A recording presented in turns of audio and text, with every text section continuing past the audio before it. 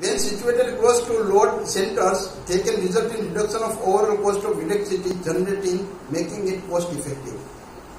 जब आप देखोगे ओवरऑल अगर मैंने आपको एग्जांपल दिया था हमारे घर के इलेक्ट्रिसिटी बिल का दिया टोटल मैंने आपको बता दिया टोटल एक्सपेंस बता दिया तो ओवरऑल आप देखने जाओगे तो आपको पता है कि चार साल या पाँच साल मैक्सिमम उसके बाद आपने जो एक्सपेंस किया था वो ऑटोमेटिकली फ्री हो जाएगा स्टार्टिंग में maybe possible we will feel लेकिन टुकड़ों टुकड़ों में पैसे देना और एक साथ में देना दोनों बात सेम ही है। लेकिन देखोगे तो बहुत सारे फ़ायदे ये है कि पोल्यूशन नहीं होता है फ्री मिल रहा है। ये हमको बहुत इंपॉर्टेंट है okay Fortunately, India is ideally situ uh, suited geographically, being a tropical country, to utilize potential of at least three major non-conventional source of energy: sun, water, and wind. हमारा topography इस तरह से है कि सन wind और water ये तीनों energy का अगर हमको यूज़ करना हो तो हम आसानी से कर सकते हैं।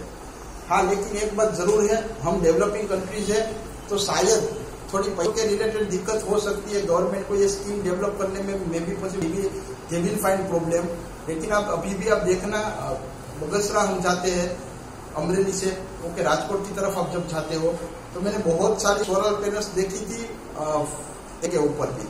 तो फार्मर भी अभी इसका यूज़ करना शुरू कर दिए हैं। ओके बहुत घरों में इसका हो रहा है। तो इनडायरेक्टली आप पोल्यूशन को बचा रहे हो।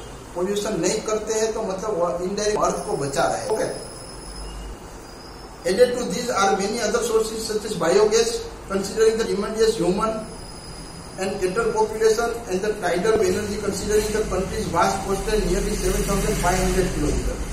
Biogas का देखने जाएँगे तो ये energy natural source of energy है। हमारे पास यहाँ पे बफेलो मतलब कोई भी केटल्स को ले लो आप। ये बायोगैस में हेल्पफुल रहेगा। इसका वेस्ट है। वो फर्टिलाइज़र में भी काम आएगा। यस और नो ओके नाउ कोस्ट का देख seven thousand five hundred kilometre का हमारा कोस्ट लाइन है तो वहाँ पे टाइडल एनर्जी का यूज़ करके तो आप दे जाओगे सन विंड वाटर तो we have the great capacity to use this हमारे पास बहुत अच्छा पोटेंशियल है इसका यूज़ करने का okay thank you very much today up to here we will keep time थोड़ा ज़्यादा हो गया है तो शायद वो फिर वीडियो कट हो जाएगा इसलिए। Okay thank you very much